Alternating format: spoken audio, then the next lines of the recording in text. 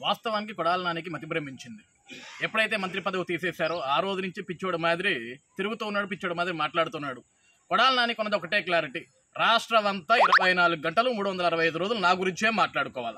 నేను పవన్ కళ్యాణ్ విచ్చలవిడిగా తిడతా. పవన్ కళ్యాణ్ని తన సొంత పర్సనల్ విషయాల గురించి మాట్లాడతా. చంద్రబాబు నాయుడు గారి గురించి విచ్చలవిడిగా తిడతా. ఈరోజు నేను ఎన్టీ రామారావుకి పరమ భక్తుడు అంటాడు ఈ మూర్ఖుడు. అదే ఎన్టీ రామారావు గారి కన్న బిడ్డని ఇష్టానుసారంగా మాట్లాడతాడు ఈ చెత్తదవ. ఈరోజు మళ్ళీ రంగా గారి మరణం గురించి మాట్లాడతాడు. ఆ రంగా గారి మరణానికి కారణం తెలుగుదేశం పార్టీ అంటాడు. మరి అదే తెలుగుదేశం పార్టీలో రెండు సార్లు ఎమ్మెల్యే టికెట్లు తీసుకున్నాడు ఈ నీచుడు.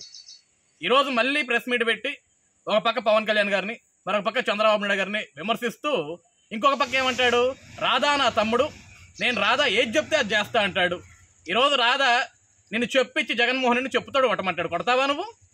అంత దమ్ముందా నీ దగ్గర? ఈరోజు కొడాలనానికి ఒకటే అన్నా.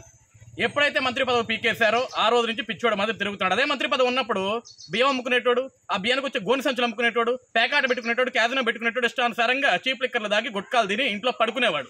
మంత్రి పదవి పోయిన తర్వాత ఎవడు పట్టించుకోవట్లా ఎవడాడు ముందు మైకులు పెట్టట్లా? ఎవడు వాడి గురించి మాట్లాడట్లా? కాబట్టి ఎవరో ఒకరు తిట్టాలా? రోజు ఏం చేయాలా? చంద్రబాబు నాయుడు గారిని తిట్టాలా? నారా లోకేష్ గారిని తిట్టాలా? అచ్చెన్నాయుడు గారిని తిట్టాలా? పవన్ కళ్యాణ్ గారిని విమర్శించాలా? లేకుంటే వాళ్ళ కుటుంబాల గురించి మాట్లాడాలా? అసలు ఫస్ట్ వీడి బ్రతికేంటి? వీడి బ్రతికి ఎక్కడ మొదలైంది? ఈరోజు చీప్ లెక్కర్లు దాగి గుట్కాలు నమిలి ఇష్టానుసారంగా పిచ్చుకుక్క మాదిరి మురిగే ఈ కొడాల నాని గురించి ఎక్కువగా మనం ఆలోచించాల్సిన అవసరం లేదు. ఈరోజు ఇతను పవన్ కళ్యాణ్ గారి గురించి మాట్లాడినా చంద్రబాబు నాయుడు గారి గురించి మాట్లాడినా లోకేష్ అన్న గురించి మాట్లాడినా వాళ్ళకి ఏమీ కాదు. వాళ్ళ దృష్టిలో కొడాలని ఒక వెంట్రుక అంతే. వీడి గురించి మాట్లాడుకున్న కూడా టైం వేస్ట్.